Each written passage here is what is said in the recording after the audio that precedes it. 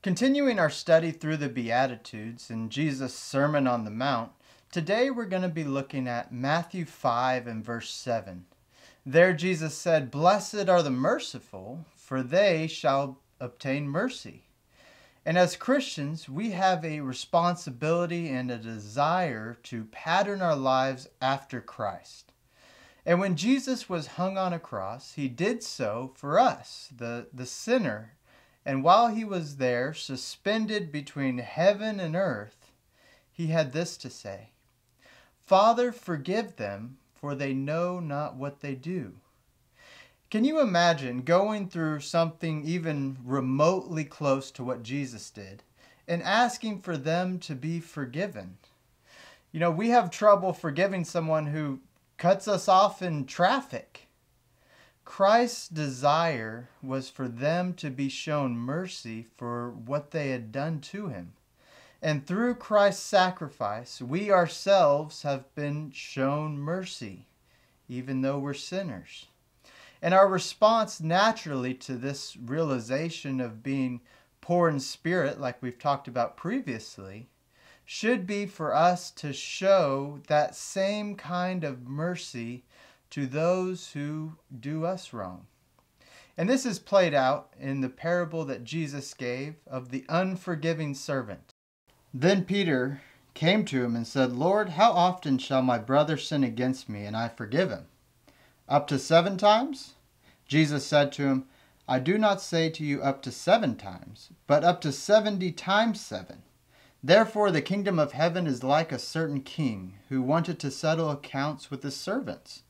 And when he had begun to settle accounts, one was brought to him who owed him ten thousand talents. But as he was not able to pay, his master commanded that he be sold, with his wife and children and all that he had, and that payment be made. The servant therefore fell down before him, saying, Master, have patience with me, and I will pay you all. Then the master of that servant was moved with compassion, released him, and forgave him the debt. But the servant went out and found one of his fellow servants, who owed him a hundred denarii. And he laid hands on him and took him by the throat, saying, Pay me what you owe. So his fellow servant fell down at his feet and begged him, saying, Have patience with me, and I will pay you all. And he would not, but went and threw him into prison till he should pay the debt.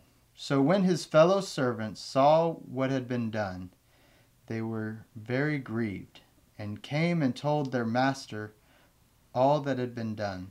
Then his master, after he had called him, said to him, You wicked servant, I forgave you all the debt because you begged me. Should you not have also had compassion on your fellow servant, just as I had pity on you? And his master was angry and delivered him to the torturers until he should pay all that was due to him.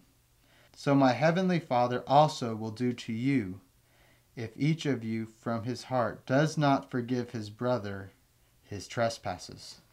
Through this parable, I want us to realize that the beatitude that Jesus gave in the Sermon on the Mount about showing mercy to others is somewhat of a paradox. And the reason we show mercy to others is because we have been given mercy.